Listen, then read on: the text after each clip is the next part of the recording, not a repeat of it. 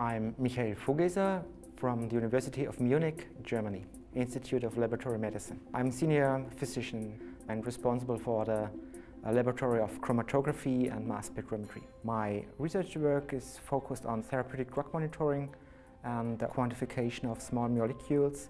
I think at present the application of mass spectrometry is far too limited. It should be extended dramatically because it has unique features of analytic quality regarding the range of analytes to be addressed and the potential to not only quantify one analyte but to introduce profiling which can address much better than classical technologies the complexity of diseases. Since uh, immunoassay tests are not available, the development of specific antibodies is extremely complex. An ideal instrument for research should have a very high reliability and specificity.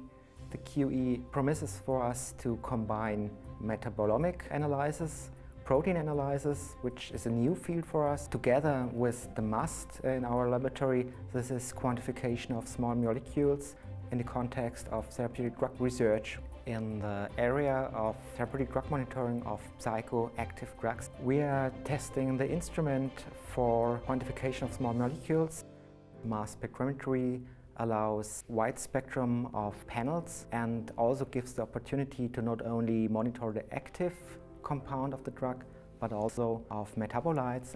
The next project we are going to address with this instrument is the quantification of small chain fatty acids from the microbiota. Very important upcoming field in chemistry. Such very high sensitive instruments and a very low volume of sample required is clearly an advantage over immunoassays. With respect to costs, mass spectrometry is highly attractive because it allows the quantification of analytes in a large panel without additional costs for added analytes. I think in the future personalization of drug therapy will become much more common and important than it is today. And there is simply no alternative to mass spectrometry as an excellent research option